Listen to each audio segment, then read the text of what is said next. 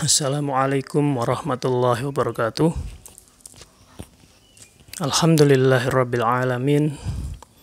Allahumma shalli ala sayyidina Muhammadin nabiyil ummi al habibil alil qabril azimil jah wa ala alihi wa sahbihi wa barik wa sallim tasliman biqadri azamati dhatika fi kulli waqtin wa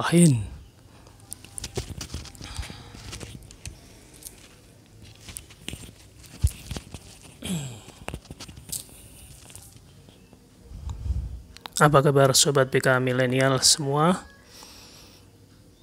Semoga semua dalam keadaan sehat walafiat, sukses dan bahagia.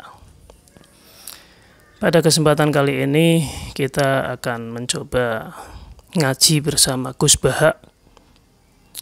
Artinya apa yang saya sampaikan ini adalah hasil dari apa yang saya dengar melalui ngaji yang disampaikan oleh orang yang alim, alamah Gus Bahauddin Nur Salim. Saya sangat tertarik untuk membuat arsip dari apa yang saya dengarkan agar saya tidak lupa dan ini juga untuk saya wariskan kepada anak saya yang saat ini juga sedang nyantri di sebuah pondok pesantren. Ada satu hal yang menarik yang saya dengar tadi malam sekitar jam 3 berarti tadi pagi ya dini hari. Jadi beliau membahas dari kitab Al-Hikam. Itu karya dari Syekh Ibnu Athaillah As-Sakandari yang merupakan murid dari Syekh Abdul Hasan Asyadili namun tidak secara langsung karena berarti cucu ya, cucu murid. Murid dari Abdul Abbas Al-Mursi. Jadi Syekh Abdul Hasan Ali Asyadili mempunyai murid Syekh Abdul Abbas Al-Mursi dan kemudian mempunyai murid pengarang kitab Al-Hikam yaitu Syekh Ibnu Athaillah As-Sakandari. Yang menarik di sini adalah Gus Bah menceritakan bahwa ada seorang ulama yang alim yang beliau itu sedang berdoa di multazam itu satu tempat yang istimewa yang banyak orang diijabah doanya ketika berdoa di multazam di Mekah ya. Itu tempat yang sangat mustajabah untuk berdoa. Jadi banyak dikabulkan doa di situ tempat paling makbul jika digunakan untuk berdoa. Singkatnya seorang alim tadi berdoa memohon kepada Allah agar dia dijaga oleh Allah agar tidak melakukan dosa.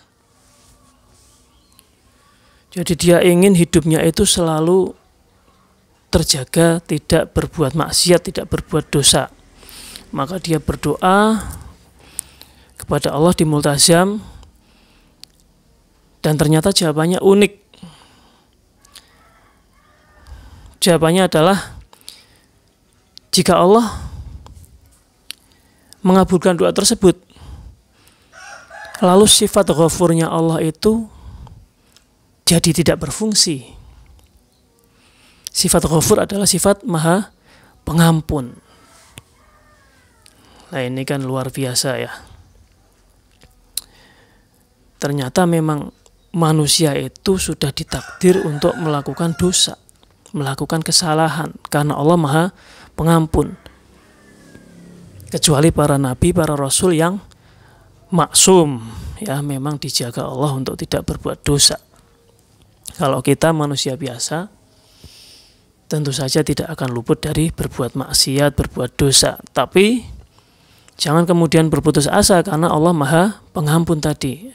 ghafur sehingga ketika ada orang berbuat salah berbuat dosa maka sejatinya dia adalah mendapat undangan dari Allah untuk bertobat memohon ampunan dari Allah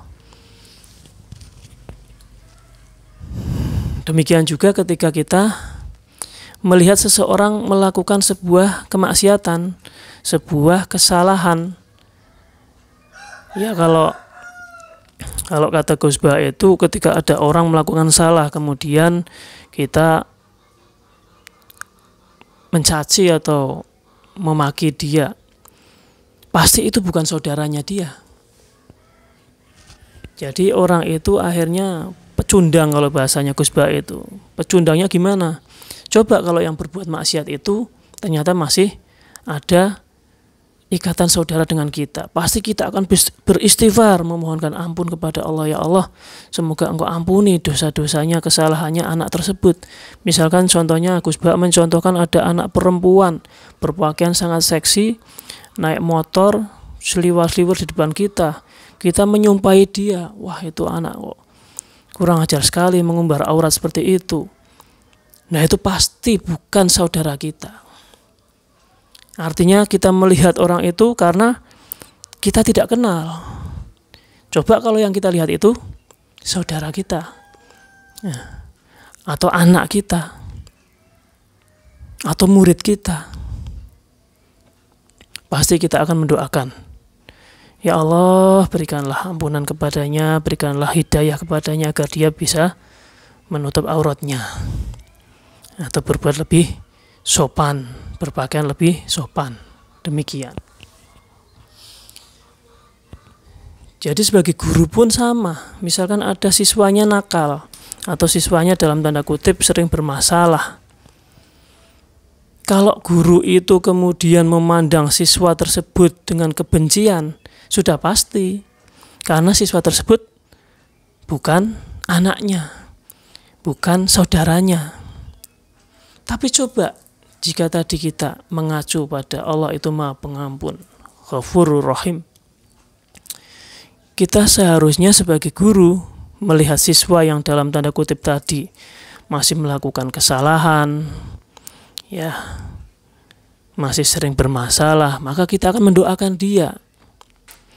Nah, kita tidak fair kalau kita membencinya kita bisa dikatakan sebagai guru itu juga pecundang kalau mengambil uh, kalimatnya Gus Bah ya. Pecundangnya gimana?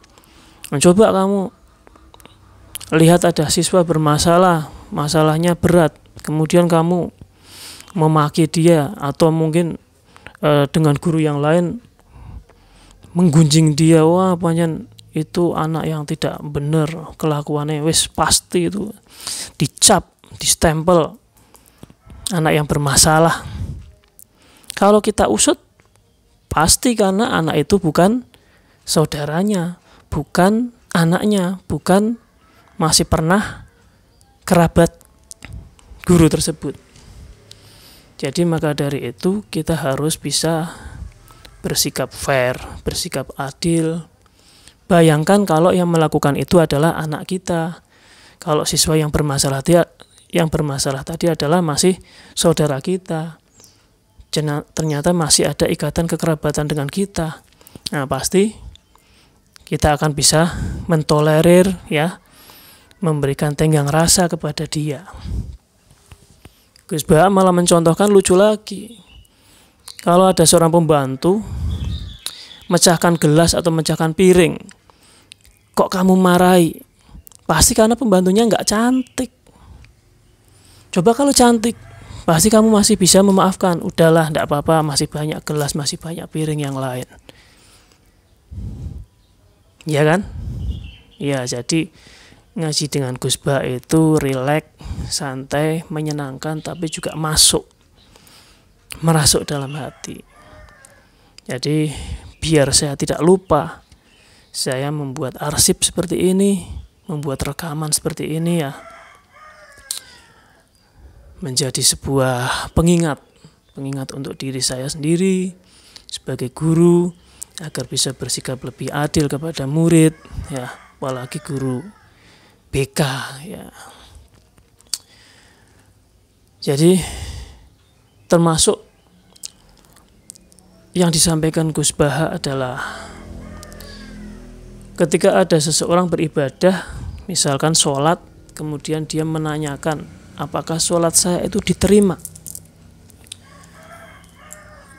Apakah sholat saya yang kurang khusyuk itu sudah bisa diterima Allah ataukah tidak diterima Allah?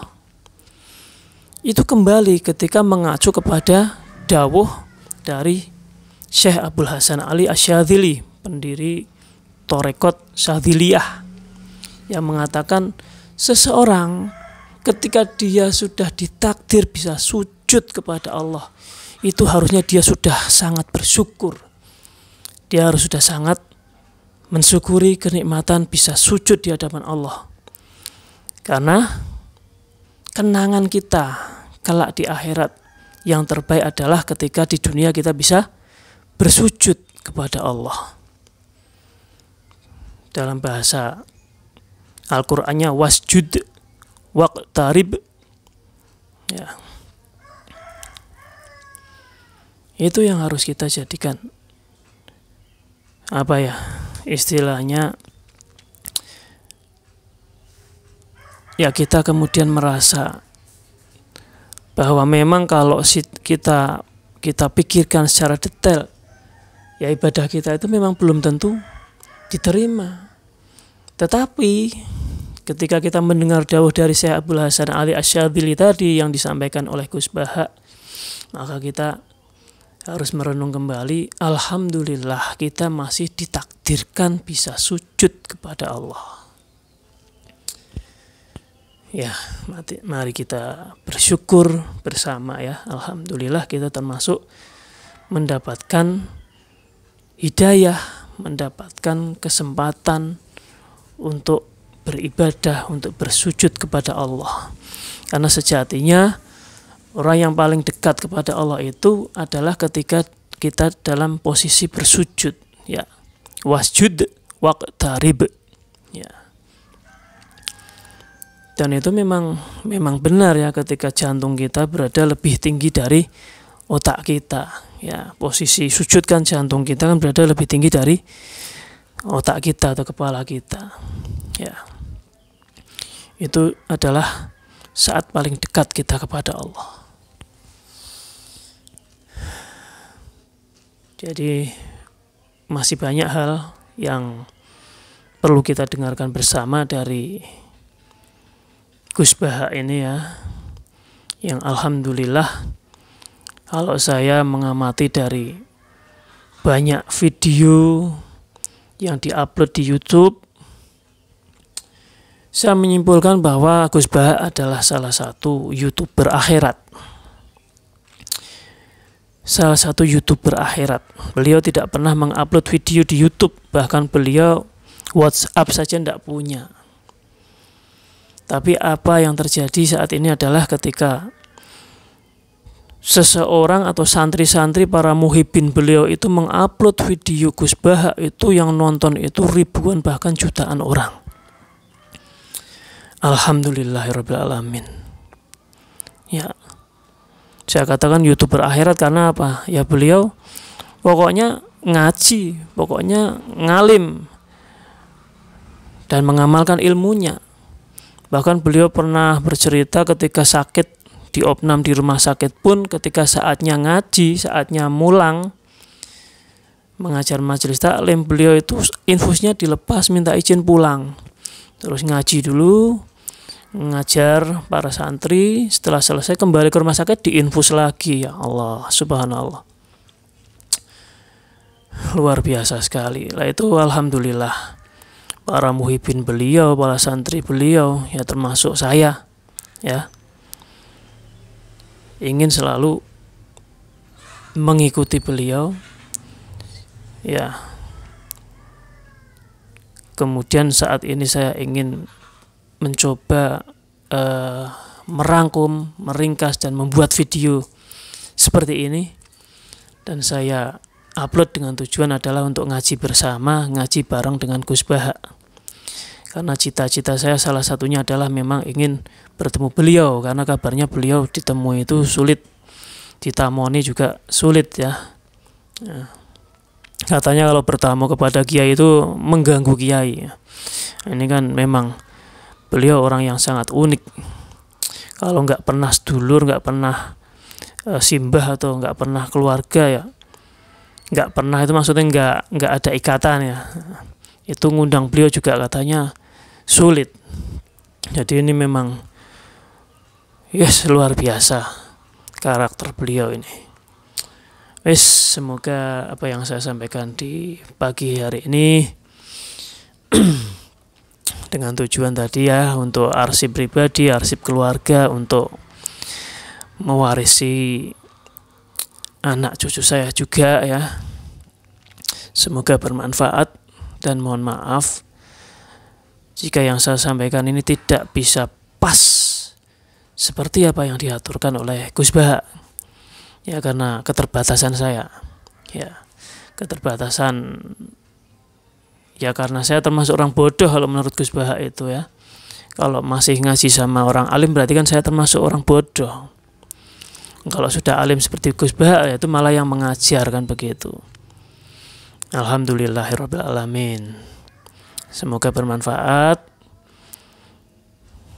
Allahumma sholli ala sayyidina Muhammadin nabiyil ummiyil habibil alil qabdil azimil jah wa ala alihi wa sahbihi wa barik wa sallim. Wassalamualaikum warahmatullahi wabarakatuh.